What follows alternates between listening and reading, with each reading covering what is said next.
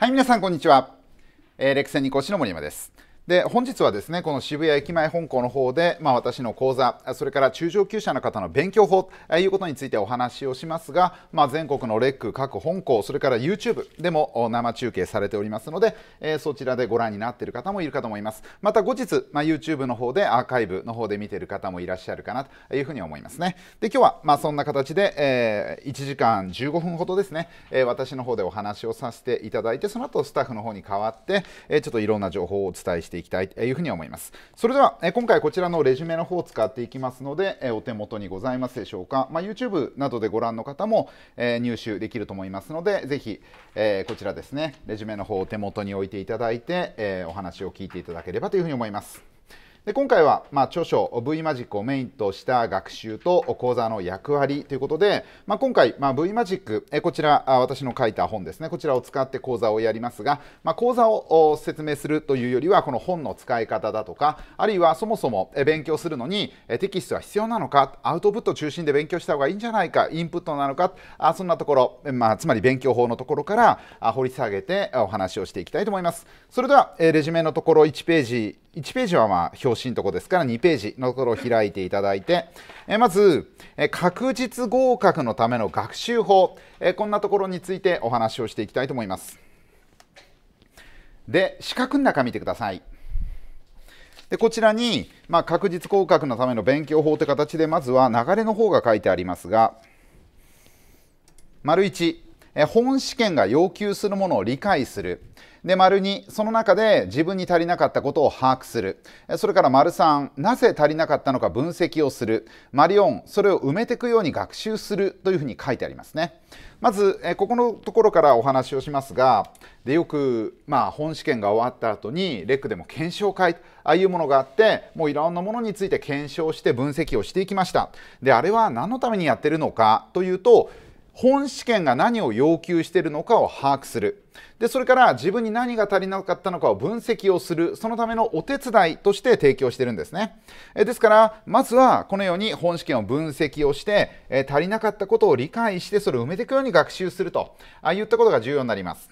だからまあ、例えば2年目以降の学習っていうのは1年目と違うところがまずあってそこからのスタートなんですよ。でレックでもよく初学者コース基礎コースというのがありますがそうするとこうやって勉強してくださいみたいな一律のお話をしますけれども2年目以降というのはたくさんの講座があってもう他の予備校でも講座がある。あるいはもう自分で独学で勉強していこうってこともある。いろんなやり方があります。その中で自分に合うものをきちんと見つけていくというのは1年目以上に必要なことなんですね。それは何かっていうと丸2番に書いてある通り足りなかったところというのが人によって違うからなんです。もちろん本試験が要求するものはちゃんと、えー、それをですね満たさなければいけませんがそのスタートのところで私はこれが足りません僕はこれが足りませんみんな違うんですね。その足りなかったところを埋めていくように勉強しないとまた同じことになってしまうということになりますからまずは分析から始まる。といった形になります。同じ点数例えば午前が25問でした。午後が23問でした。あちょっと基準点に足らなそうだからこれをやらなければね。じゃあ基準点に足りない人はあこの講座を取るといいよ。そういう話じゃないんですよもちろんパンフレット見ると基準点がこれぐらいだとあ点数がこれぐらいだとこの講座ですとかあ点数がこれぐらいだとこの講座ですみたいな感じで分かりやすく書いてあると思いますがそういうものではなく勉強スタート前にもうちょっとちゃんと分析をしていく必要があるんですね。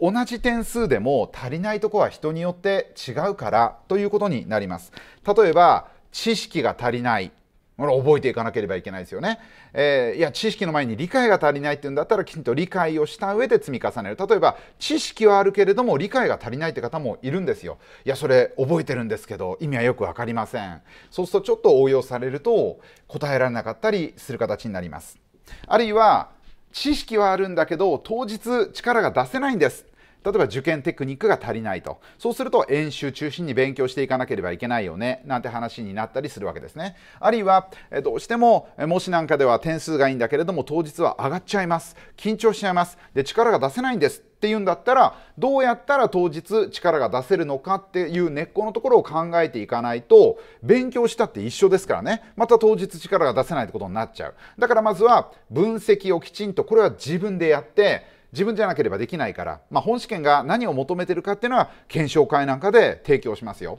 でもその検証会でこれは解けたはずですよねっていうのは解けなかったとしたらその原因っていうのは人によって違うわけですよね。だからそれをきちんと分析をしなければいけない。でその問題が解けなかったっていうのでも2択までは絞りきれたのかいやそもそも手が出せなかったのかなんていうことも違ってくるって形になります。だから何が足りなかったのかああいうことをきちんと分析をする。あるいは期日問題で点数が全然取れませんでした。蓋を開けてみたら取れなかったって方も相談の中でいたわけです。で答案を再現あの開示請求してもらって見てみたら全部合ってるんですよ。でも点数が1桁。これは字が読めないんじゃないか。いう形でちょっと今年はもっと丁寧に書いてくださいって言ったら翌年合格しました。だからこのように何が足りなかったのかってことを分析をしないといやなんか点数が低かったから枚方からやり直しますって言ったってそれは違うわけですよ。まあ、こんな形で、まずはきちんと分析をする。で、7月中はもう分析でいいと思います。だからもう一度、まあ嫌ですけれどもね、本試験で例えば失敗したって方であれば、もう問題文開くの嫌かもしれませんが、ちょっと回答と照らし合わせて、あるいは検証会と照らし合わせて、何が足りなかったのかっていうところを分析をしてからのスタートって形になります。で、あの、あるいはですね、場合によっては、まあ、レックなんかだとそういうことはないですけれども、例えば、えー、薄いテキストで勉強していていや実はねその講義で使っていたテキスト全部覚えたんですけど点数が足りないんです。でテキスト自体に載ってる知識が少ないなんて場合も場合によってはあります。そうするとそのテキストをもう一度全部覚えて覚えたとしても合格できないってことはあり得るわけですよね。そうするとじゃあもうちょっと知識が載ってるテキストを使わなければいけないねって言った話にもなっていくわけです。だから、まあ、そこはですね私のテキストであればこのレジュメの後ろの方に V マジックで今回の問題で何点取れたかっていうのは責任持って載せてあります。ですからえっ、ー、と、まあ、ちょっとレジュメのですね、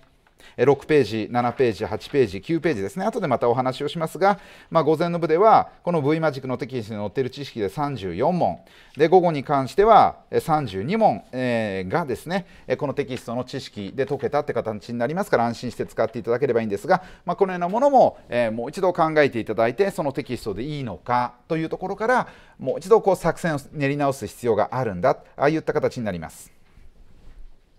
まあ、余談ですけれども、まあ、今日はねいろんなこと話しますがあの V マジックのテキストでは午前の部34問で午後、えー、と32問でしたっけ、えー、言った形で載っておりますがあの私も本試験を現場で受けるんですけれども、えー、V マジックで34問取れたって書いてありますが私は33問しか取れなかったので、まああのまあ、受験生の中に私より取れた。あの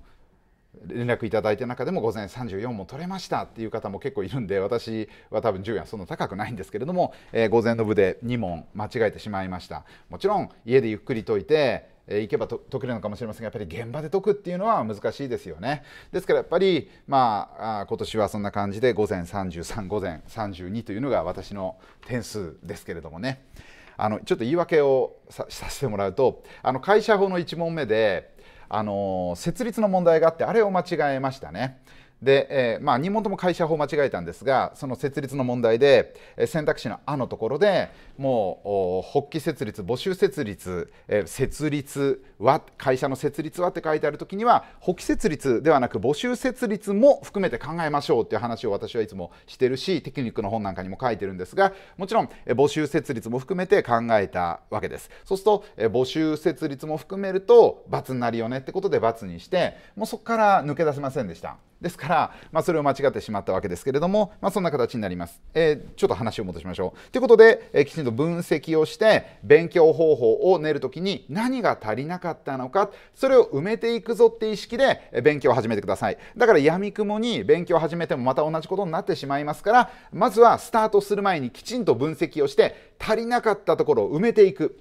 まあ、それが人間って一番きついんですね。得意なことってやりたくなるんですよ。だけれども苦手なところを埋めていくっていうのはなかなかしたくないわけです。例えばテクニックがケアレスミスをどうしてもしてしまうっていう方もじゃあケアレスミスから真正面に向き合うかっていうとなかなか何回言っても向き合ってくれない方がいるんです。でちゃんと向き合えばできるがあったら波線引こうとか読み違えないようにこうやろうとか丸×の時には丸をつけようとかいろんなテクニックはあるのでそれをきちんと一つ一つやっていけばいいんですけれどもいやちゃんと力つけるから大丈夫です。って向き合わないでもっと知識つけるからいいんだみたいな感じでどうしても得意なところを伸ばして苦手なところを埋めていこうっていうふうに思っちゃうんですね。もちろん実社会ではそれでいいのかもしれません。みんな、えー、人それぞれ個性がありますから自分の得意なところで勝負をする。苦手なところは避けるっていうのは人生の生き様としてはすごいいいことですよ。苦手なとこに苦手な人と毎日お話をしなければいけないわけではなくあの人苦手だからいいやっていうのはそれは大事なことですよね。ストレスをためないために。でも試験っていうのは全員が同じ試験を受けるわけですから苦手なところに目をつぶっていてはやはり同じことになってしまうということで必ずそこを分析をして嫌ですけれどもちゃんとそこに目を向けて、えー、足りないところを埋めていくようにしなければいけないんだっていうところをまずは最初に理解をしておいてください。ではえー、その今の話の中で本試験が要求するもので足りなかったことをちゃんと埋めていこうといったところになりますからそれを一つ一つゆっくり説明をしていきましょう。まず数字の2レジュメのその下じゃあ本試験が要求するものって何なのか。本試験が要求するもので足りないところを埋めていくのが中上級者の勉強法ってことになりますが。じゃあ本試験が要求するものって何なのか。星の1正確な知識です。この試験っていうのはとにかく知識。これを要求してるんですね。何か思考力などを要求したりリーガルマインドを要求したりっていうのはほぼありません。知識を要求してるんです。ですからよく二択残っちゃいました。でそこで法律的に考えたんですけどリーガルマインドで考えたんですけれども外れましたみたいな。なんでそのリーガルマインドって。もう知識ですよ知識。だっていくらリーガルマインドっていうものがまあレックの悪口じゃないですけどリーガルマインドってものがあったって解けないものは解けないですからね。例えば高等裁判所と最高裁判所で結論が違う判例ってあるんです。というか最高裁まで争ったってことはもう、えー、地裁とかあるいは高等裁判所で結論が違ったのを最高裁がひっくり返したりあるいは原告と被告でもう本当にせめぎ合ったりすることもあるわけですね。そうすると高等裁判所は地方裁判所の、えー、裁判官の出した判決と最高裁の出した判決が違ったりするわけですよ。そうするとじゃあリーガルマインドでそれ分かるんですか？という話ですよね。最高裁の裁判官とじゃあはリーガルマインドがあるけれども高等裁判所の裁判官リーガルマインドがないんですかって話になる。それはどっちに転んだっておかしくないんですよもう基本的には知識がないとわからないですよね。で午後の部だってそうです。添付するんですか？しないんですか？って言われたってそれは知識がないと分かりません。リーガルマインドがあればこれ非課税だとか分かるわけないんですよ。ですからそこはちゃんと知識をつけていく。じゃあ本試験が要求するものって何なのかっていうと括弧1番に書いてありますがもちろん丸1基本条文や判例、先例の知識ですね。で、これをきちんと頭に入れていく。だからまずはそれが要求されるのに知識がなかったから受からなかったんだというのが失敗のパターンの一つでちゃんと知識はつけていかなければいけないよねって話になります。まあ、特に今年は、まあ、事例問題も少なかったので条文や判例の知識がストレートに問われてるわけですねだから頭の中からその知識を引っ張り出して当てはめて解けるということがあれば合格、まあ、正解ができたって形になるわけです。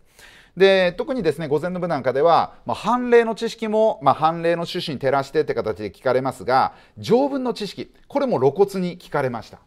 でまあ最近の傾向でもあるんですけれどもうん例えばですね今年の問題は問題文が短かった検証会でもお話をしましたが短かった。でこれはまあ憶測の域を出ないですけれどもやっぱり短くしてくれたんだと思います。で午後の部なんかで問題文が長くて読み切れません。で最後まで読めないで試験時間が終わってしまうって批判も法務省の方にもたくさん届いてるでしょうからそうするとやっぱり問題文短くしようという動きはあったと思うんですね。それを午前の部で露骨にやらなくたっていいんですがやってくるわけですよ。そうすると問題文を短くするってことは複雑な判例は聞けないわけです。そうするとじゃあ条文を聞こうってことになりますが基本的な条文を出してしまうとみんな正解出せる。だったら少しマニアックな条文というか周辺知識ですね。ちょっと渋い条文出そうって形になるわけです。だから埋蔵物発見だとかそういうちょっと渋めな条文が出てきたっていうのはそういう背景もあると思うんですがとにかくまあ今年は判例の趣旨に照らしてって言葉が、えー、と3問分ぐらい減りましたので、まあ、露骨にこう条文が出てきたっていうこともあると思うんですね、まあ、とにかく条文や判例洗礼の知識ってものが正確に要求してくるんだ。まあ、これが1つ目です。あとは丸2番、最新情報や改正情報、これももちろん聞かれます。で特に、まあ、本当に嫌になるぐらいここのところ改正が多いんですね。もう社会情勢がいろいろ変わってる時代ではありますからもう1年前2年前からは予測できないこともたくさん起こってるわけです。でそのような形でもう改正がたくさんあります。そうするとやっぱりこの改正というのがすぐ出てくる時代なんですね。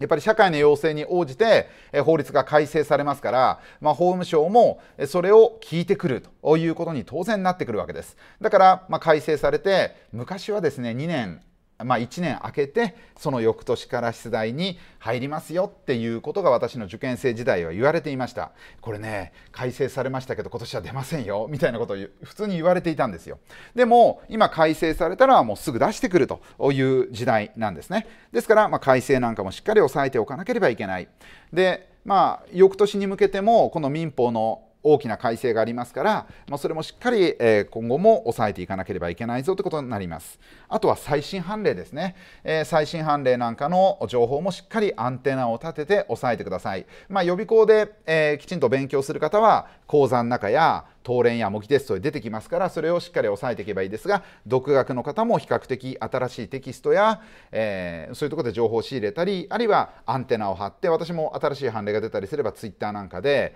え情報提供しますからきちんと最新の改正判例なんかも押さえていかなければいけないといった形になります。さあ本試験が要求するものは基本的には条文の知識判例の知識洗礼の知識とそれを当てはめればいいんだああいった形になります。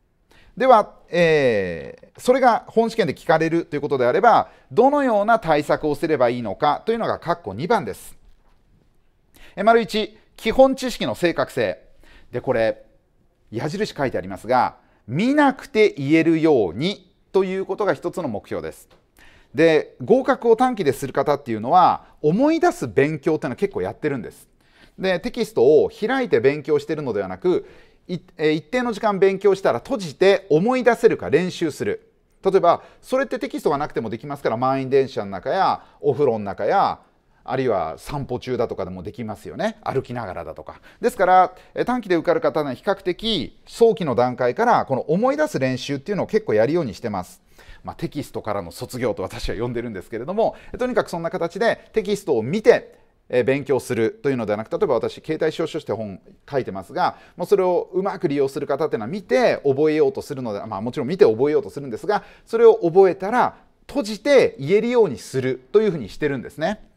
えー、これがまあ正確な知識を身につけるためには一つのポイントになります。本試験では知識を思い出さなければいけないんだから普段からやっぱり思い出す練習っていうのをしておく必要があるんです。でこれは嫌ですよ。だって思い出せないから。見て勉強すると分かった気になるんですよ。だから楽なんですよ。で閉じてみるとじゃあ要件5つあったね。じゃあ5つ言ってみようっていうと4つ目なんだっけ？って話になる。でもこれがやっぱり一番の勉強になるわけです。でテキストを勉強しているとどうしても受け身な勉強になっちゃうよって方がいるんですが濃度的な勉強にすることもできるしテキストを使ってアウトプットをすることもできますからテキストを見なくても言えるように思い出す練習をするというのが非常に重要な勉強です。で、矢印に書いてありますが、これがミスディレクションされても誤りに気づけるための勉強なんです。で、本試験っていうのは皆さんを誤りに仕向けてきます。で、ミスディレクションっていうのはあのマジックの、まあ、技っていうかえ、例えば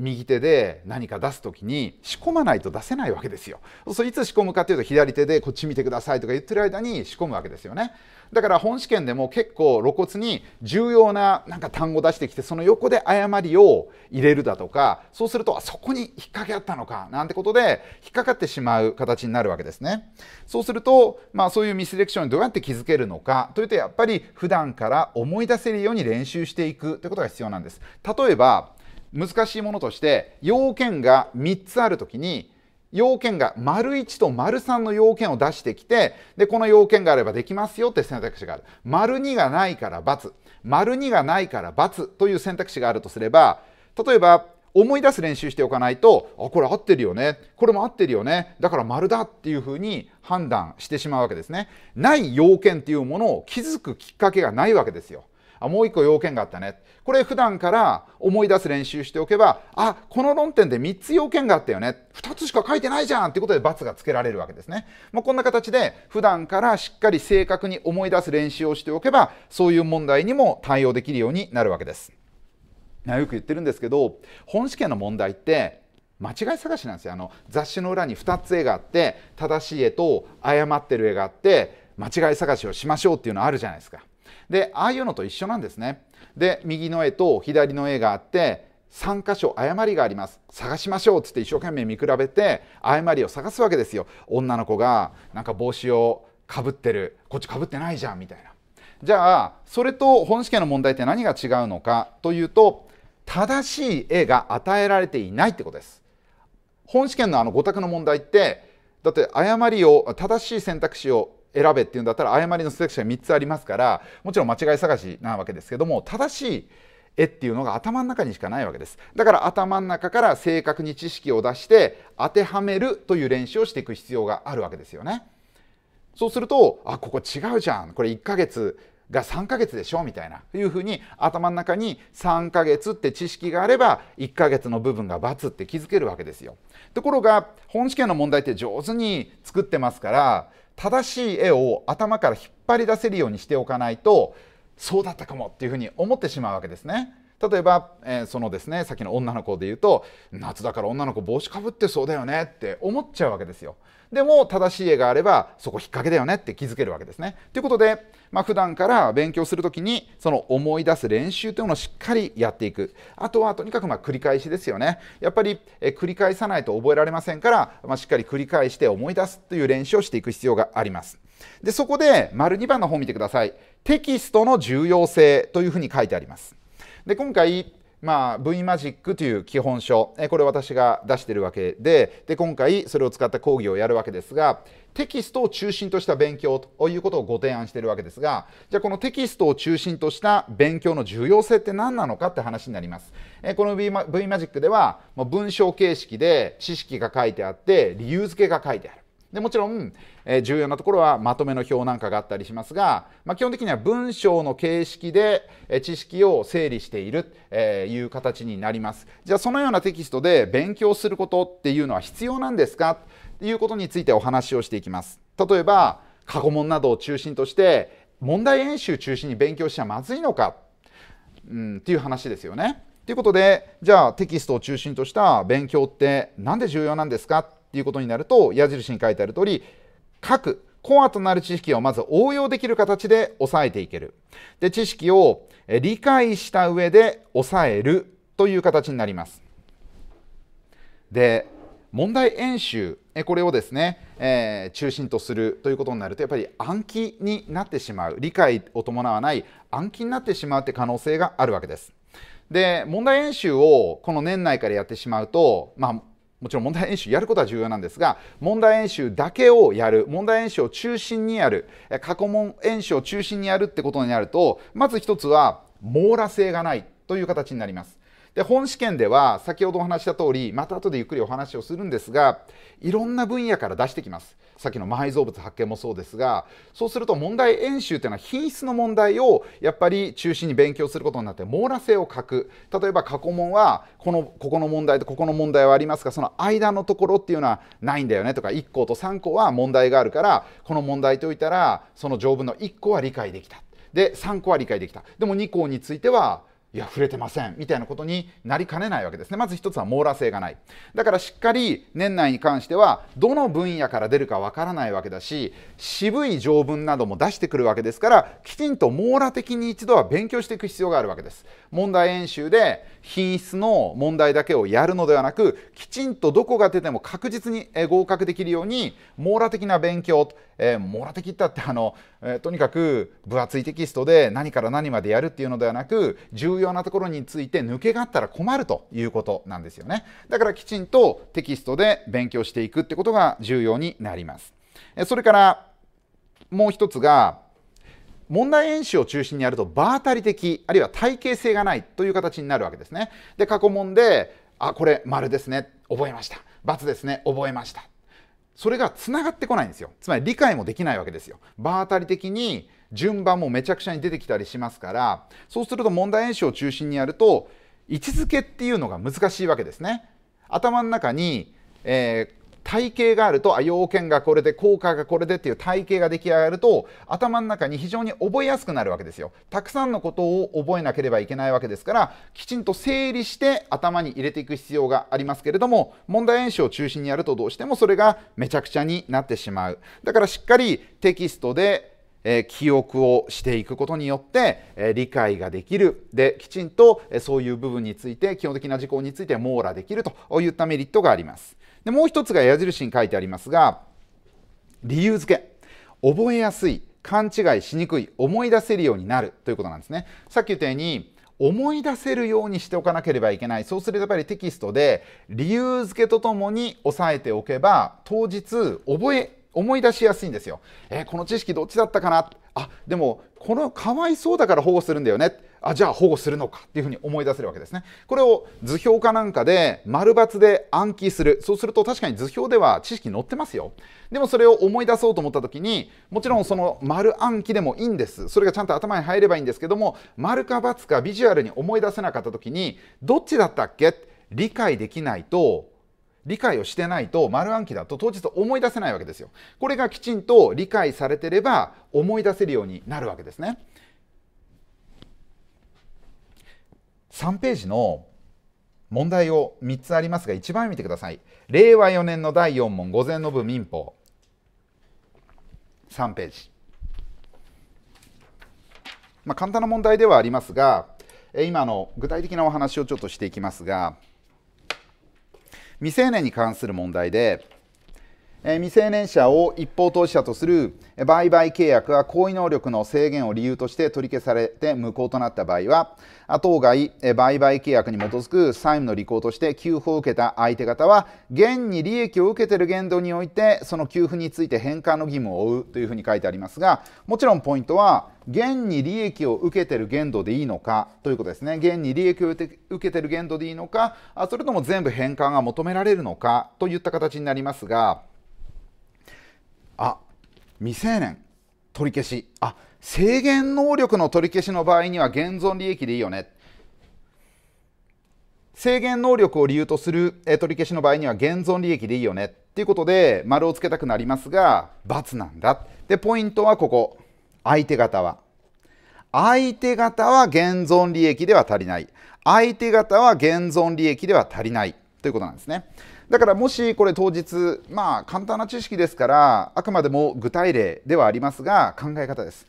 で当日この知識が頭の中から出せればもちろん相手方は現存利益じゃいけないからこれ罰ですよっていうふうに気づけると思うわけだしでもし度忘れしてもちゃんと理解をしてれば例えば V マジックにはこう書いてありますあくまで意思無能力者制限行為能力者を保護するための規定だからほら相手方の返還義務まで軽くなるわけではないですよっていうことですね。この理由付けが大事なんですよ。そうすると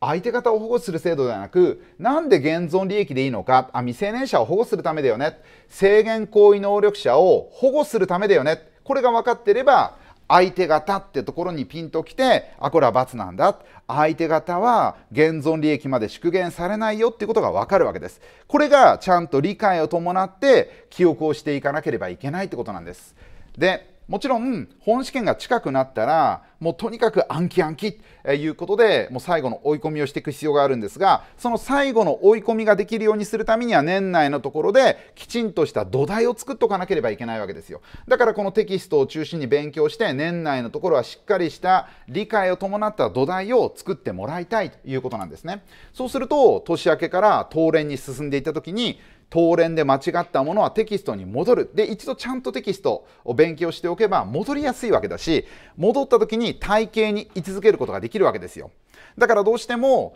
えー、毎年基準点ぐらいまでは行くんですけどって方の話を聞いてると頭の中に体系がない。えー、ちゃんとインプットの勉強を土台を作ってないで場当たり的に問題を解いてでそれをテキストに戻ったってテキストがちゃんと頭に入ってないわけですからもういつも、うん、いいとこまでは行くんだけれども頭打ちになっちゃうといったことになるわけですね、えきちんと理解を伴った体系的な知識をこの年内のところはまだ時間があるわけですからしっかりつける必要がある。そのためには体系的なテキストでしっかりまずは土台を作っていくということがその後飛躍するためのコツなんです。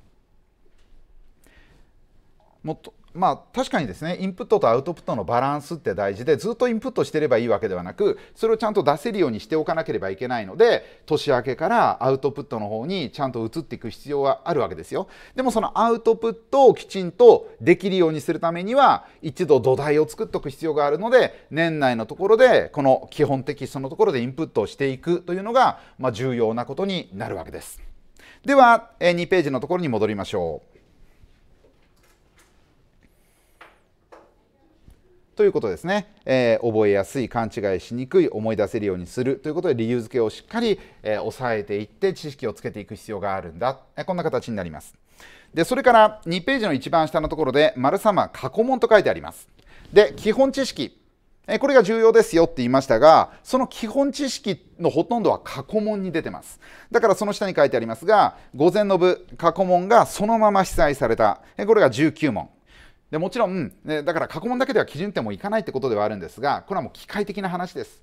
もちろんですね過去問をやってればその周辺知識やちょっと形を変えて出題された時に解けますよ。でもそれを、うん、この数字に出してしまうと主観的なことになりますから過去問が本当にそのまま論点で出てきた時に何点取れるかって話になりますが午前はやっぱり20問は取れない。で午後は23問ぐらいですね。だからまあ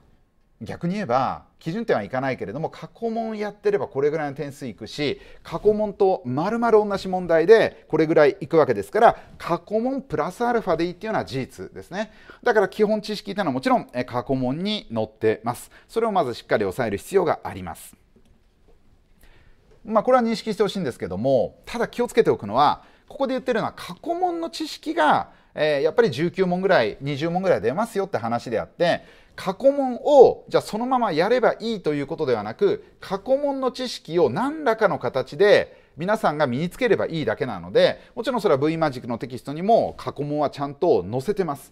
でちょっと細かな過去問でももう一度出る可能性があるものは入れてますからこれもテキストを勉強する形で過去問知識を入れていけばいい。だから過去問というツールで過去問知識を身につける必要はないので、まあ、年内に関してはもう過去問知識もテキストの方で身につけていただければいいかなというふうには思います。では3ページの頭のところを見てください。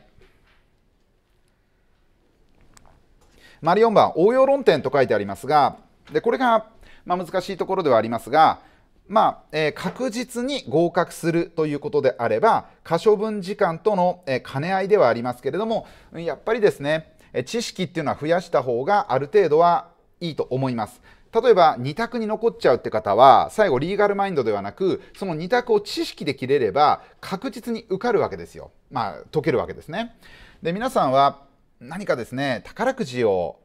買うような感覚でこの試験受けてるはずではないわけですね。あ運が良ければ当たりますようにみたいな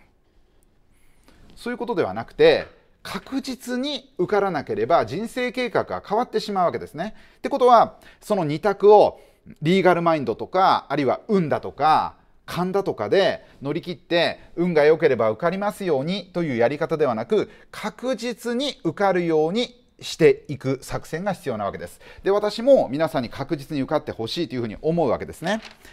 で、まあ、予備校の講師をやってると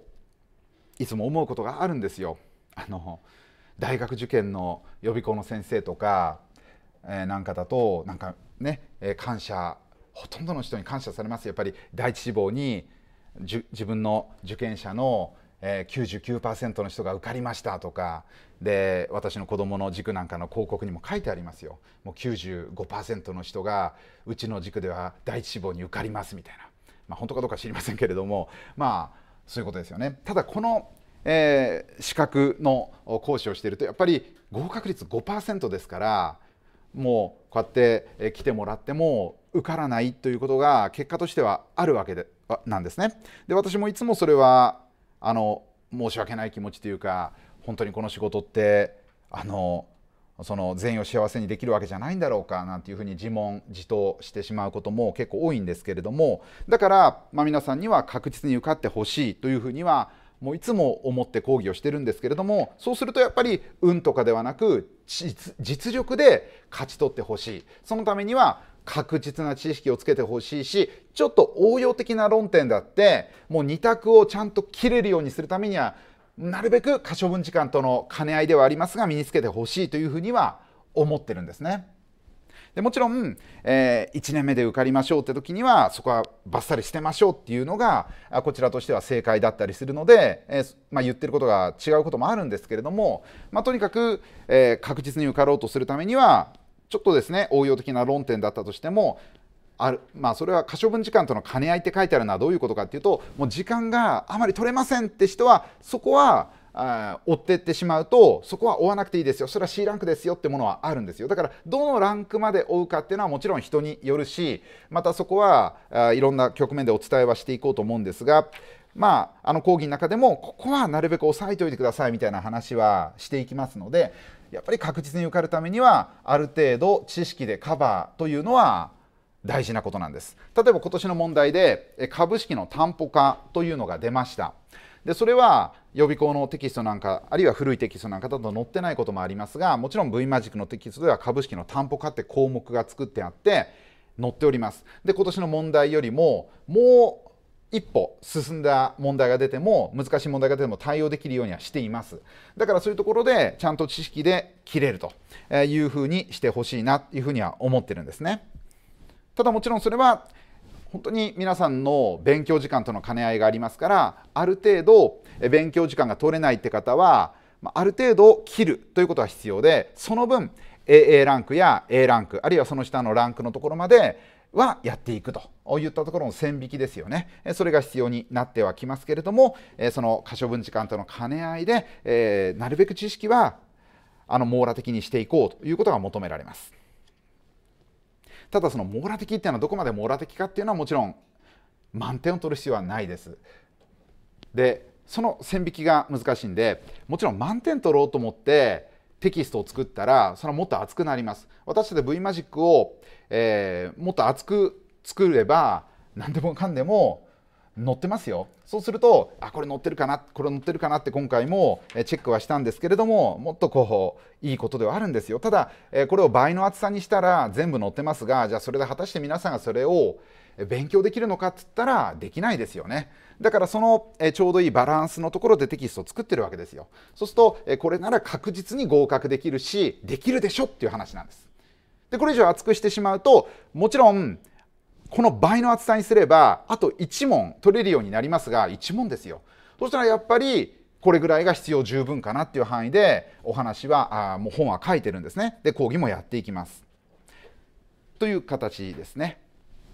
ということでテキストを中心にこの年内のところを勉強していくということによって、えー、理解を伴った土台をしっかり作っていこうという形なんです。で先ほどお話した通り年明けからは東連をやっぱり中心に勉強していく必要がありますがその時にちゃんと戻れる土台が必要だよねこんなお話をしております。では3ページのところにもういくつか問題がありますからもう一つ見ておきましょう。今度は3ページの真ん中の問題、まあ、憲法の問題ですね。で、えー、憲法の問題で法律案は先に衆議院に提出をしなければならないが予算は先に参議院に提出をすることも許されるというふうに書いてあります。まあ、もちろんこんなのは基本知識ではありますがただ現場で、まあ、何人かの方がいやどっちか思い出せなかったんですということにもなるわけですね。でもちろんさっき理由付けで思い出そうと言いましたが、まあ、こういうところは理由付けよりは、えー、例えば V マジックにはこう書いてあります。えー、衆議院の優越として衆議院に選議権が認められるのは予算だけである。まずこれは重要知識ですね。予算だけが選議権があるんだと。でただ選議権があるのが条約なのか予算なのかそれとも法律案なのか、えー、どれだか分かんなくなっちゃう。内閣総理大臣の指名なのか。そうすると予算だってことを思い出さなければいけまいけませんので V マジックには、まあ、予算戦と覚えてしまおうって書いてあるわけですね。予算戦まあこれが何なのかって言われたら、まあ、瀬戸内海に沿って四国を走る鉄道路線なんていうふうに V マジックにそのまま書いてあるわけですけれども、まあ、予算線っていうのがあるわけですよ。まあ讃岐の讃岐のところですよねですからまあ讃岐の里、まあ、伊予の世ですかね予算線ですよ。まあ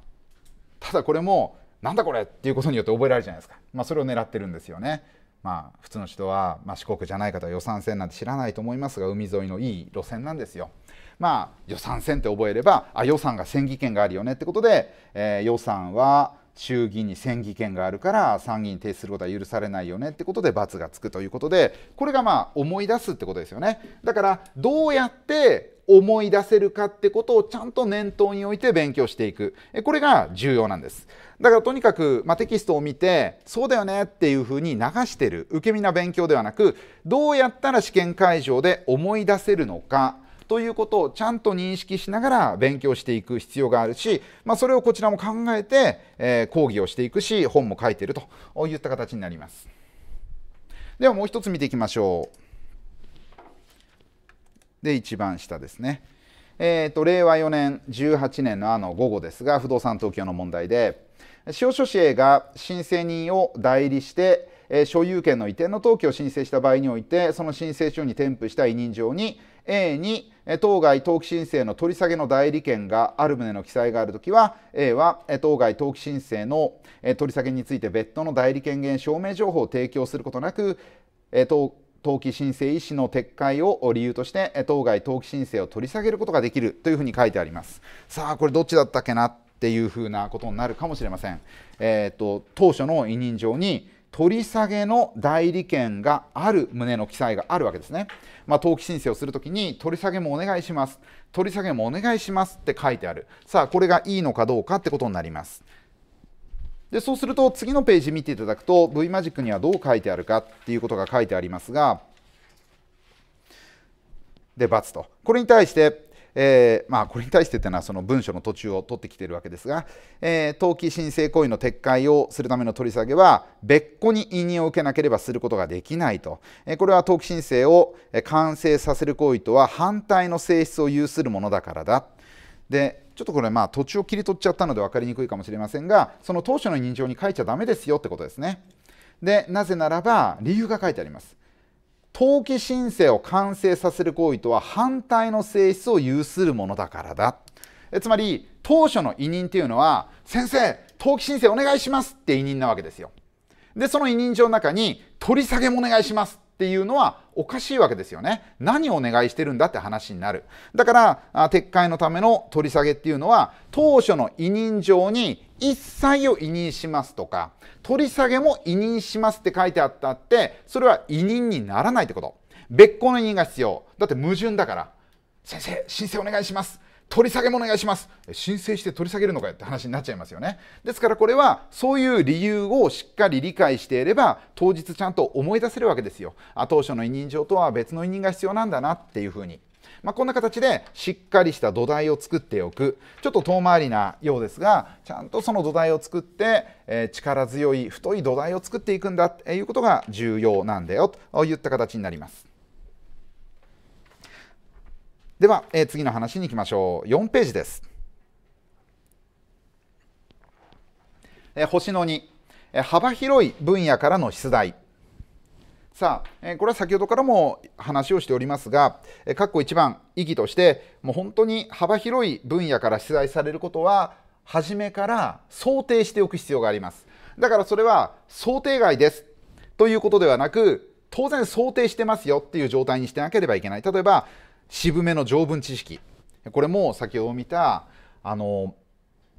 まあ、埋蔵物発見なんかもそうだしあとは法定地上権なんかでも、まあえー、抵当権がありました。で更地でしたっていういつものあの要件を聞くような判例だけでなく、えー、じゃあ法定地上権の存続期間とかって誰が決めるんですかとかあそういうふうなところもちょっと渋めのある条文知識ですよね。ですからそういうのも知っておかないと点数が取れない。もちろんあの選択肢全て知らなくていいのでそれはもう2つ3つ分かれば正解は出せますけれども2択になってしまう時にそのような条文知識があればもちろんそれは正解を出せせることができるでしょって話です。あとはマイナー分野からの出題で、えーまあ、第三者のためにする契約なんかも出ますよね。あとは不動産登記総論。でこれも試験対策としてはしっかり押さえておかなければいけないわけです。えどうしても期日問題なんかが不動産登記では出ますから所有権の登記だとか相続登記、抵当権の登記、ね、抵当権の登記なんていうふうなものが勉強の中心になりますけれども、さっきの取り下げじゃないですけれども、不動産登記の択一で点数が取れないって方が分析してみると、意外とそのような総論中の総論、それを勉強してないってっていうところもあるのかもしれないですよね。それはもちろん各自の分析によりますからちゃんとなんで成績取れないのか点数取れないのか分析をしてほしいんですけれどもどうしても、えー、期日問題が出される、えー、科目になると期日の部分っていうのを中心に勉強しますからそれ以外の部分が出てきた時に極端に成績が下がるということも結構あるんです。でこれ不動産登記総論と書いてありますが商業登記でもそうですよ。商業登記も今年は株式会社の問題が多かったからいいですけど例年択一で株式会社以外の会社の問題も多いんですよ。下手したら半分以上株式会社から出てきたっておか株式会社以外から出てきたっておかしくないわけです。で株式会社っていうのは期日問題でもよく聞かれます。だから例えば株式会社の役員変更やあるいは株式の問題に関しては期日で聞くからいいやっていう発想が向こう取ってくるわけですよね。せっかく択一と期日であるのに両方とも同じ問題出してもしょうがないわけですよだから、まあ、今回は持ち分会社が出ましたがそれはちょっと置いとくとして株式会社は期日で聞けるじゃあ株式会社以外を択一で聞こうと思ったらじゃあ持ち分会社2問出そうかなで一般社団法人出そうかなってなって株式会社は意外と少なかったりするわけですよね。で問題が8問しかないわけですから株式会社以外から半分出てそれ株式会社から半分出るっていうのは問題が8問しかないから株式会社以外の問題に割り振ると意外と株式会社は少なくなるっていうことなんですね。でこれが不動産登記の場合にはまだ問題が16もありますから、えー、不動産登記総論出してもちゃんと期日で出るような問題も出るわけですよ。だから結構かぶりが多いんですが商業登記が難しいというふうに思われる方は実は期日は得意なんだけども託児は取れませんって方はそういうことを見てみると意外と株式会社以外から出てるんだよね期日で出ない分野が半分出るんだよねっていうところなんですよね。まあ、そんな形で、まあ、ちょっと話を戻すともういろんな分野から出題されますよっていう話を今してるんですがだからそれを今から対策の話もしますが勉強しましょうって話なんですがあとはえ譲渡担保って書いてあります。まあ、これももうマイナー分野とは皆さん認識してないかもしれませんが、もう条文もないのに毎年毎年出てきます。毎年午前の部の15問目で出てきます。もう定位置ですよ。でいう形になります。ただこの譲渡担保については少し性質が変わってきたのは、えーと、去年ぐらいからですかねもう過去に出たのと同じ判例中心の問題になってますで昔は新しい判例が出ましたまだ譲渡担保何が難しかったかっていうと今まで出てないような判例を出してきたわけですねただもう出したい判例が一巡したようで過去に出た判例を出してきますからやっぱり過去問知識が重要になってきている分野という形には細かく言うと分析できるわけです。まあ、譲渡担保だけ分析してもしょうがないのであくまでも具体例ではありますが、まあ、そんな形ですよね。あとは刑法格論、まあ、これも難しいですよね。刑法格論何が難しいかっていうとやっぱり財産罪は1問出るとしてもう1問はわけわかんないところから出してくるって傾向はあって今年は強制性交等罪などが出ましたが、まあ、なかなか難しいですよね監禁罪から出たり国家的法益から出たりだからこれも可処分時間に応じてではありますが私はなるべく幅広く勉強した方がいいかなと思います。あとは商法なんかもそうだし、まあ、この辺はそうですね。で、幅広くっていうと、何か皆さんに無理な要求しているようですが、品質分野以外の分野っていうのは基本だけ押さえれば点数取れるんですよ。だからそこは本当に勉強をもうすごくもっともっと、えー、無理を強いるって話ではなく、ちょっとプラスアルファぐらいの話なんです。例えば、あの、えー、財産罪っていうのは難しいですよ。いっぱい論点があります。でも、例えば、えー、他の分野っていうのは条文プラスアルファですよ。だからそこまでちょっとだけ手を広げればそれが出てきた時に選択肢の2つや3つは分かるんですね。ですからそういうふうな形で勉強してほしい。でまあ、今年のですねあの強制性交当罪は別に無理な問題では決してありません。平成29年の判例変更なんて話も私はあの模擬テストの付録講義でもお話をしましたしですから当然そのレベルの話を、えー、他の、えー、刑法各論のよく出る犯罪以外でもやってほしいなああいったところではあります。あとは持ち分会社の記述式問題が出たというのがちょっと今年は幅広い分野からの出題ということで取り上げなければいけないかなというふうには思いますがまあ、ただ、まあ、分析という意味では今年に関してはそんなに合否には影響しないかなと思います。でもちろんかければプラスです。でどれぐらいプラスになるかは分かりません。あのまあ、経営者配点というか、まあ、例えば株式会社を多くの人が回答して持ち分会社があんまり多くの人が回答できてなかったっていうのであれば持ち分会社の方の配点を低くするということも法務省はやります。でこれは過去なんか見てると例えばあ事業用の借地権なんかについてもみんな書いてないから配点上げてもしょうがないからなんて形で逆に配点を低くしてしまうということはあり得るんですね。でもちろんそれは蓋を開けてみないと分かりません。ただそういうことはあり得るわけです。だからまあ、期日問題で言うと試験当日みんなが書けるところはしっかり書こうっていうのは予備校の講師がよく言うんですけれどもそれはそこに配点が来るからなんです。で自分は持ち分返しは書けましたみんなかけてないはずなんです。でも株式会社はちょっと間違いだらけですっていうと逆に点数が低かったりするんですよ。だからみんなができることはしっかりできるっていうことはやっぱり重要ではあるんです。だから今年は持ち分会社の期日問題については点差がつかないかなとは思いますがそういうのも出てるんですよということは認識していく必要があるかなと思います。ただいきなり期日問題の考え方を変えてじゃあ持ち分会社のひな形もゴリゴリやりましょうっていう話ではなくやっぱり株式会社が中心だってことには違いがないと思うんですね。ただテキストには持ち分会社のひな形は載ってますからそれを今までよりはちょっと丁寧に見ようかなという話は、えー、これからも必要かなと思いますがで私も今までもあの全く想定してなかったわけではなくよく講義の中で、えー、持ち分会社の期日がいつ出てもおかしくないよって話はちゃんとしてます。そこで、えー、テキストに載ってるひな形なんかも一度は見ておきましょうでもし期日問題がもし出たら択一の知識を使って解けば他の人よりはプラスですよという話はしてます。だからそのように、えー、全く想定してないわけではなく初めて出た時にはまあ択一の知識を使って、えーと、例えば私がよく言ってるのは登記事故はしっかり抑えましょうと。で例えば、えー、合名会社合資会社合同会社の登記事項を抑えていればあ合同会社は資本金が登記事項だから資本金が変われば登記必要だなっていうのはもちろん分かるわけだしそれから、えー、まあ社員なのかそれとも業務執行社員なのかってことも択一の知識ですから、まあ、択一の知識を使って解きましょう、えー、こんな話はしております。だからそのようにですね一応まああの押さえてまあそれぐらいができれば今年はいいだろうと思いますがただそういうことまで、想定しておかなければいけないといった形になります。ではこのように幅広い出題っていうのは出てくるわけですよ。じゃあどうするかっていうと過去2番対策として広く学習する勝手に絞り込まないってことですね。で、えー、私たちも、まあ、予備校の講師ももちろん皆さんに確実に受かってほしいために言ってるので先生ここやんなくていいですか？って皆さん言うんだけれどもやっぱりやってほしいからお話をしてるわけですよだからあんまりこの年内に関しては絞り込まないで特にもっと言うと問題演習中心に絞り込んでじゃあ10年分の過去問やりますっていうのではなくしっかりテキストを使ってあんまり過去には出てないけれども出たよって分野まで年内に関してはしっかり勉強してほしいなっていうふうに思うんですね。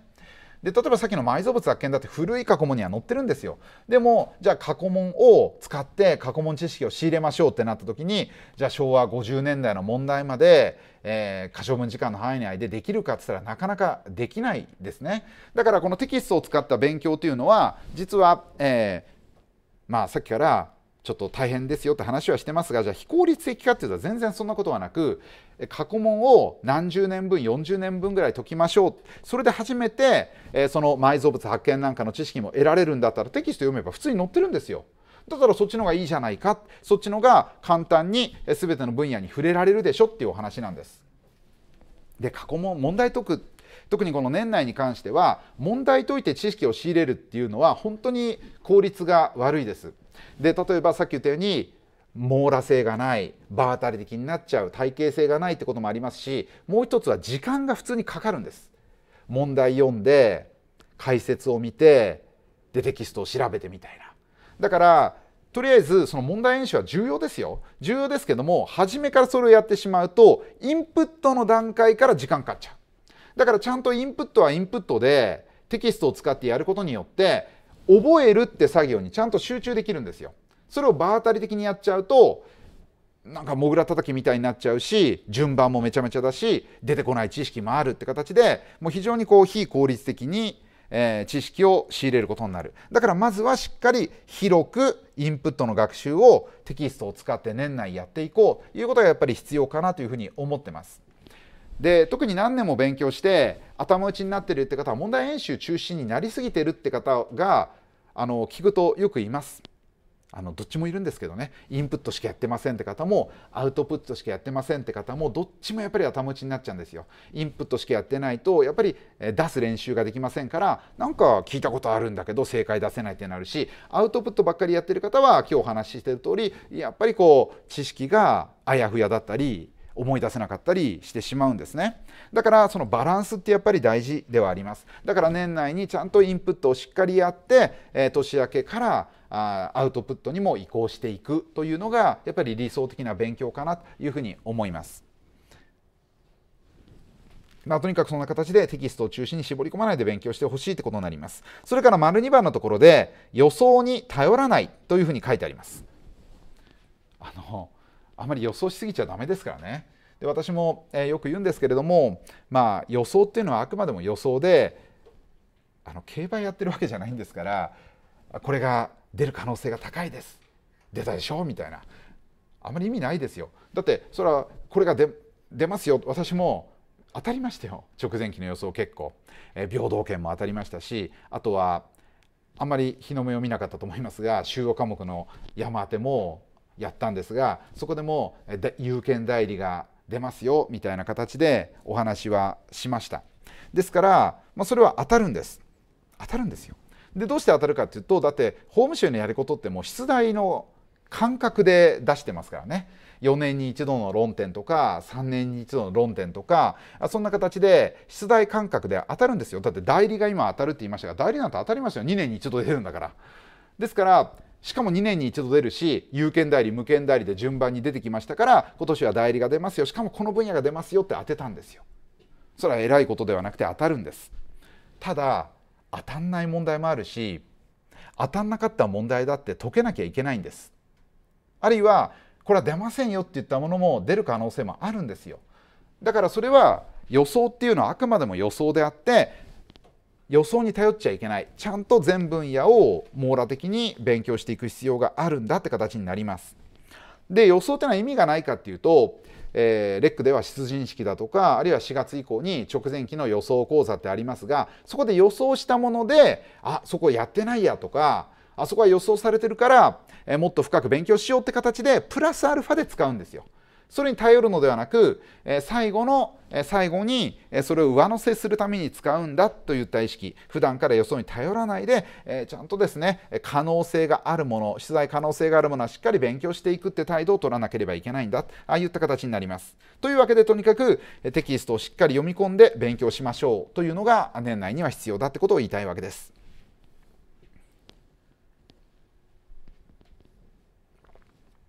では星野さんのところ。さあ択一の話を中心にしますが記述式問題を解けるようにするためにってことで記述の話もしていきます。まず括弧1分析としてどうして記述式で点数取れないのかということをちゃんと確認していく必要があります。ひな形をしっかり押さえてない。知識がない。解放がない。というえー、まあ、どれかだと思いますがしっかりその辺りを認識してそれを埋めていくような勉強をしていくってことをしっかりやってくださいねですからちゃんと何で取れなかったのか、まあ、ひな形をちゃんと押さえてなければいけないしちゃんと基本知識がないといけないわけですよあとはそれがあったとしても、じゃあ解放ですよね。どうやって時間内でその知識をその問題に当てはめるかっていう当てはめ力。それも必要です。だからそのどれがないのかということをちゃんと把握して埋めていくような勉強をしてください。で2つ目。そもそも記述が苦手なのか。先生記述で点数取れないんです。見てください。商業登記法5点です。で商業東京が商業東京の記述が苦手じゃない可能性もあります。でどうしてそんな点数低いんですか？いや時間がなくて。時間がなければ点数取れません。だから記述式問題に時間が回せてなければ点数低いです。だからそもそもその人は期日が苦手なんではなくて期日に時間が回せてない。つまり択一が早く解けない。択一がちゃんと時間通りに解けないっていうのがもしかしたら原因なのかもしれません。そういうことまで含めて記述で点数が取れないことをちゃんと考えなければいけない。だから時間がないのであればじゃあ択一をちゃんと軸足検討をもうちょっとテクニックをつけていこうって話になったりするわけですよ。だから記述が苦手ですっていう原因で、えー、それでじゃあ択一の軸足検討をやりましょうって結論が出る可能性だってあるわけですよね。だからちゃんとその点数が取れないっていう点数だけの問題ではなくどこに原因があるのかをちゃんとこの7月中に認識しておく必要があるわけです。ではその下の括弧2番対策です。もちろんこれ一般的な話ではあります。さっき言ったように人によって苦手なところは違います。ただ見てください。大体この3つですかね。まず基礎的知識の充実です。問われているのは基本的な知識ですから、それがないから解けない。それがないから解けないっていうことは一つありえます。で、これは、えー、普通に択一の勉強をする。例えば、このテキストなんかで勉強する方はテキストをやってる中で、ちゃんと択一の勉強と記述の勉強セットで知識を仕入れていけばいいわけです。例えば、記述問題見てもらうと、聞かれてる知識って難しくありません。例えば、枠ずれをしましたって方も例えば第一欄であれば遺贈の登記の前提で名変登記がいるかいらないかこれはもう基本知識ですよね。相続の前提であればいらないけれども遺贈や生前売買の前提であれば名変登記は必要ですよと。それから第2欄では数字相続による所有権保存登記は1件でできますよ。これはもう基本知識ですよね。ですからそのあたりがもし枠ずれをしましたって方は基本知識がちゃんと出せるほど充実してるかとちゃんと、えー、自分で操れるほど基本知識が自分のものになってるかっていうことが第一です。もう解放がどうの、えー、なんか答案用紙を使うとか使わないとかの前に基本知識がちゃんと出せないんでしょって話なんですよ。でそこはちゃんと認識しておかなければいけない厳しいようですけれども、えー、もう解放の前にその基本知識がちゃんと出せるほどないんではないかということ、えこれをちゃんと疑っていかなければいけない。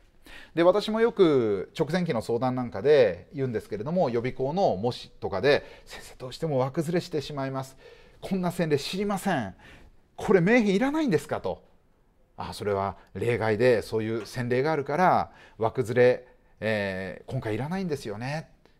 あ知らなかったです」いやそれ講義で教えてないからみたいな。こういうことが直前の模試なんかではあるんだけれども本試験でそんな知らない知識で枠ずれを起こさせる問題は出ないんですよ。予備校の答練は大好きですよ。知らない線例で枠ずれさせる。え、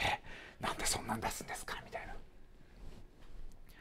で、そこで枠ずれさせたいんですよね、予備校はね。でも、それは本試験では、もう本当に誰もが納得できるような枠ずれしか出さないし、誰もが納得できるような商業登記の登記すべき事項しか出ないんですよ。だから知識としては本当に基本です。今まで、えー、基本じゃない知識が出たことなんてありません。だから、まあ、その基本の定義にもよりますけどね。ですから、基本的には、その予備校の模試で枠ずれを起こさせるような、もう超 B 級洗礼で枠ずれがしたみたいな、そういうことは本試験出ませんから、もしそういうことがあれば、まず一つの原因は知識がちゃんとあの使えるようなものになっていたかどうかということですよね。あとはもう一つ、その下、ひな形を確実にと書いてありますが、これもバカにしちゃいけませんよ。で、ひな形をちゃんと書けるようにしておかなければ、正解出せませんから最後に書くのはひな形ですからね枠がずれなかったとしても点数低いってことはあってそれはもうちょこちょこちょことこひな形ミスでマイナスされちゃうということはあり得るわけですだから枠がしっかり埋まっていたから合格できるかって言ったらそれはマイナスがいろんなところでされていたらやっぱり合格はおぼつかなくなってしまう。だからしっかりひな形を押さえていく必要がある。だから、まあ、場合によってはひな形集なんかも使ったりテキストに載ってるひな形なんかもしっかり書けるようにしていくということはこれはもう1年目ではやるとは思うんですけどもだんだんだんだんそういうことは手薄になっていう手薄になるというかバカにするというかそういう話になると思いますがひな形ももうちゃんとですねコンスタントに練習していくということはやっぱりあのやんなきゃいけないんですよバカにしちゃいけないんですよ。あの例えばその数字相続で保存登記をするって話であって数字相続の保存登記のひな形っていうのはひな形種にあるんですよね。でそれ分かってれば論点だって出てくるわけですひな形から。ひな形が分かってればあじゃあ数字相続で一発で相続登記あ保存登記いけるんだなってひな形から分かるんですよ。だからちゃんとそこはひな形を知ってればできたはずなんですね。あるいは中上級者の方でも多いんですけど今年のその数字相続の保存登記も、えー、保存登記えー、知識としては1回でできること分かってたんですけどなんか上記相続人とかその辺りのひな形がうろ覚えでしたって方がいますがそれはもう基本ですからね。だからそういうところやっぱりおろそかにしてしまうと0.5点や1点に足元を救われてしまうってことにもなりかねないわけです。とにかくそういうシビアな試験なんですからそういうところもバカにしないでやっていかなければいけない。あとはもちろん解放の習得ですよね。だから基本知識をちゃんと運用できるように身につける。だからこれもさっき言った基本の勉強するテキストの勉強しながら思い出せるように練習しておけば十分です。思い出せるようにしていく。で期日問題であればやっぱり択一と同じように思い出さなければいけないんですから基本知識をちゃんとテキストを使って思い出せるようにする。でひな形を抑える。でそれができたら最後それを出せるようにする解放の練習です。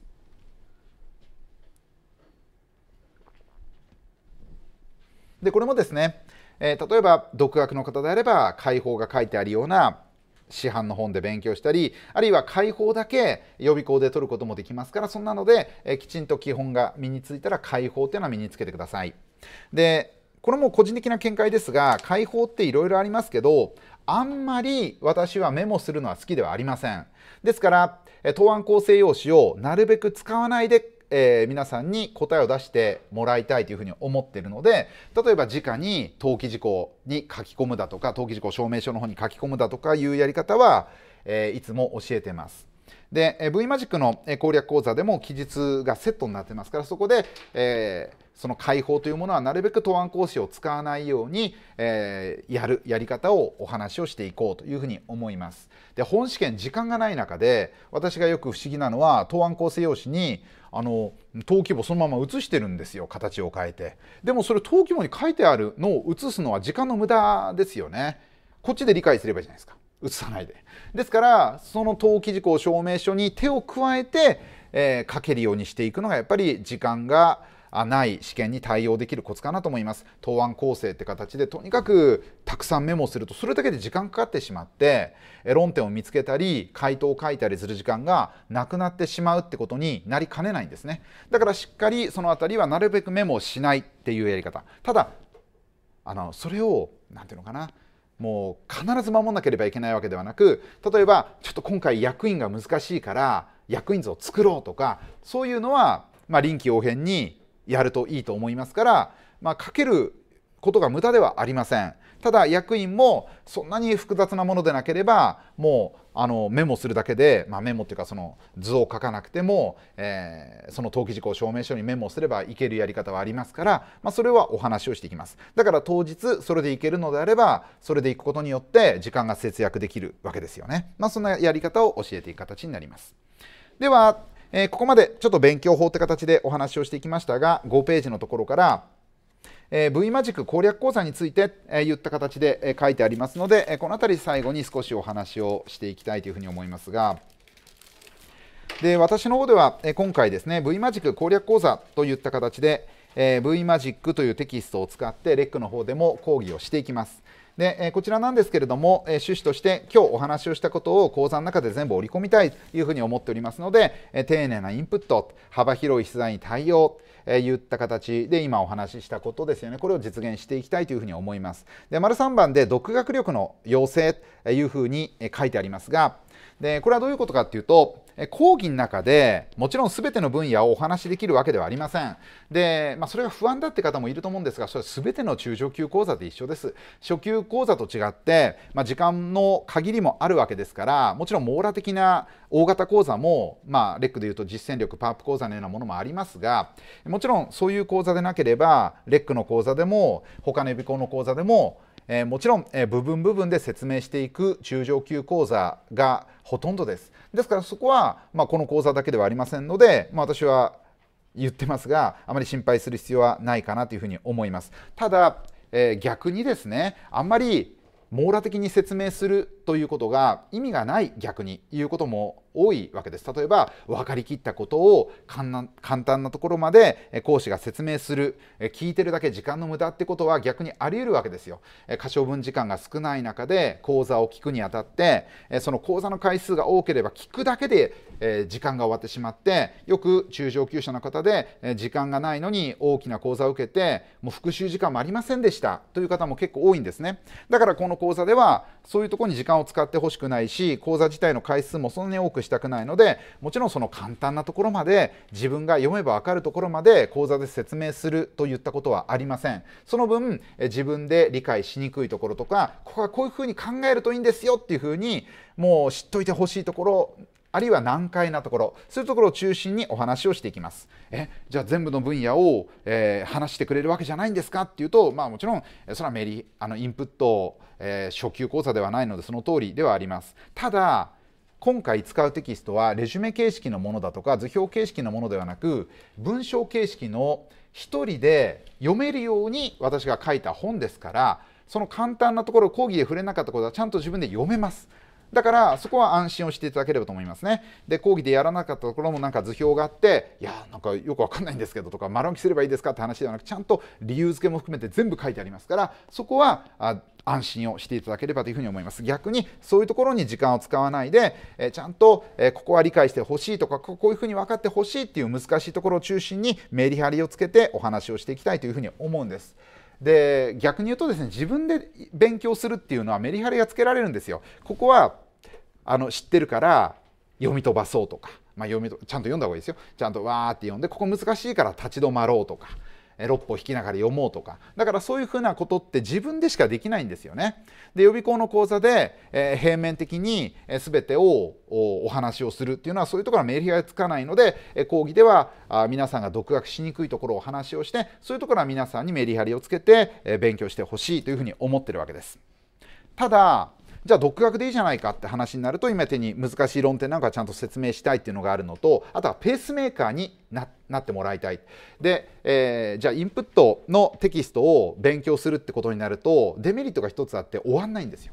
だからちゃんと年内に終わらせてほしい1月ぐらいまでに終わらせてほしいっていう意味で、えー、講義についてくることによってインプットを完成させるというペースメーカーになれるっていうのは一つあります。あの講義の中であの場当たり的に講義するわけではなくもう全部あのなていうのかなあの皆さんに1回目の講義であのあ教材発送時にあの進度表をお渡しします。1回目の講義は民法何ページまで。もう、えー、民法の最終回あるいは不動産の最終回までもう全部書いてありますからそれをお渡しをします。でそれであ1回目の講義はここまでなんだなっていうことでそれをえー、その週に勉強すればいいってことが分かりますから例えば予習で読んでくるだとか復習で読むだとかもう全部ペースが皆さん独学できるようにお伝えします。でそれを勉強すればいいってことになるわけですね。ということでそのように皆さんの独学力っていうものを鍛えていくちゃんという形になります。ペースメーカーにもなるって形になりますね。あとは起立式問題の総合対策って形で書いてあります。起立式も含めた対策をしていきましょう。でそれから星の2で講座の利用法と書いてありますが今言ったように独学力養成ってことで、えー、講義に、えー、ついてくる形で皆さんに本を読んでほしいわけですが予習で読んでくるタイプと復習で読んでくるタイプといった形どちらも用意してありますからちょっと見ていただいて利用していただければ結構です。でその中に復習問題を解くと書いてありますが年内は基本的にインプットを中心に勉強してほしいというお話をしておりますがちょっとアウトプットしたいあるいはアウトプットをしなければメリハリがつかないっていう形になるとは思いますので、えー、復習問題というものを講義の中で配布します。で配布するというかもう初めからお配りをします。でもちろんこれはもう最小限のものではあります。だからもう最小限のものではありますが今回の講義ではこの問題解いてくださいって形で用意されてますからそうすると、まあ、メリハリつけてちょっとアウトプット、えー、インプット中心だけれどもアウトプットもできるという形には工夫しておりますからこれも利用していただければと思います。あとは今度9月か10月かに新しい携帯証書書の方も出しますから、まあ、そういうのも復習として、えー、利用していただければあのかなりこうリンクした復習ができるかなと思いますので利用する方は講義に取り入れることもできるかなというふうに思います。で最後に6ページのところで、えー、VMagic であの今回の問題に対応できたかっていう図表を作っておきましたから責任持って、え、午前午後とも、え、合格点がちゃんと取れる情報が載ってるってことで、え、まあ、安心して、え利用していただければいいかなというふうに思います。で今回はですね、えー、どのように勉強するのかという中上級者の確実合格法、えー、それからあ VMagic を使った講座についてのお話をしていきました。で、えー、VMagic という本は市販されている本になりますから講座を受けないでえー、本読むっていう方もいるというふうに思いますが、ぜひ、えー、そのペースは間違えないように、えー、ずっと6月、7月まで本読んでればいいわけではありませんので、そのあたりも少し分かっていただけたかなというふうに思います。えー、講義を使っていただければ、そのあたりはしっかりペースを作ってやっていきたいというふうに思います。ではよろしいでしょうかね。で、まあ、こんな形でお話をしていきましたが、あのまあ、とにかく年内のところでしっかり一通りインプットをして年明けから東連がセットになってますから東連のところで、えー、東連に合わせた勉強していくまた1月以降の話は機会があればお話をしますが1月以降の東連っていうのは科目別の東連になってますからそこで1月から3月までに今度はアウトプットを中心にもう1回復習ができます。でえ直前期は総合対策といった形になりますから、まあ、ぜひ、え講座を利用して、え確実に合格できるといった形でパワーアップをしていただければというふうに思います。で、えー、と今回の講座ではありますが、この後スタッフの方にバトンタッチをして、えーとまあ、お得な割引情報だとか、あとはちょっと値段のところとか、申し込み方とか、そういう手続きのところはお話を、えしてもらいたいというふうに思いますけれども、あのまあ、ぜひですねこの講座を利用して、えー、ぜひ合格の方していただければと思います。では、えー、あとあれですねあの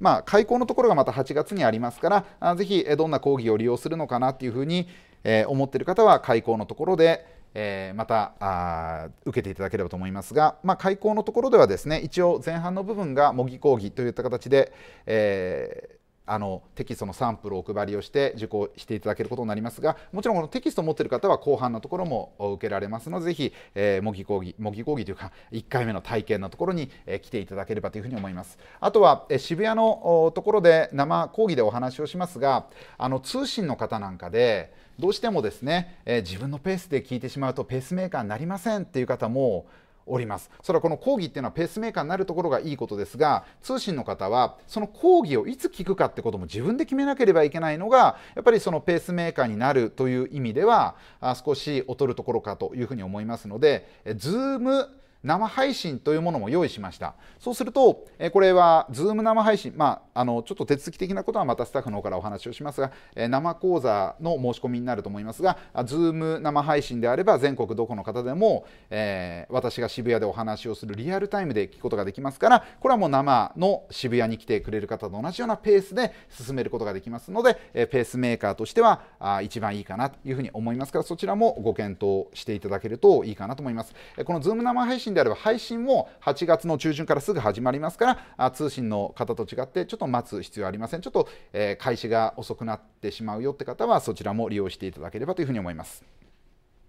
あとはあの改正対策ということも講義では兼ねております、えー、特にこの民法が一番改正が多いですがこの改正点も講義の中でお話をしていきますので、えー、そのあたりも、えー、ぜひご利用いただければというふうに思います。でえー、もう合格してる可能性もあるんですっていう相談もかなり受けて申し込んでいいですかって方もいますが申し込んでも大丈夫です。ちょっと宣伝になりますが合格者返金っていうのがありますのであの合格してる可能性がある方も改正の勉強として民法えー、受けてればちょうど合格発表も来ますのであのぜひあの合格者返金を狙って受けていただければ来年に向けての勉強にもなるしえ改正に向けての勉強にもなりますのでえどっちでもいける形になります。え合格可能性のある方もぜひ勉強しておくといいですね。あの万が一の時に勉強してないと後悔します。で勉強していて後悔することありませんので、えー、ただ勉強どっちつかずだからしにくいなって方は講座に申し込むといいですね。で講座に申し込めば聞くだけで勉強になりますからね。ですからあのもあのそのですね自分で動かすのが大変であればあぜひ、えー、講義の方を利用して勉強を始めるという形をとっていただければいいかなというふうに思います。あのレックの講座は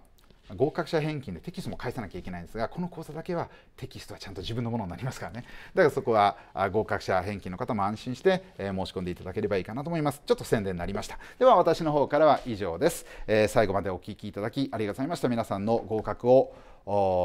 最大限サポートしていきたいと思います。お疲れ様でした。ではちょっとスタッフの方に代わって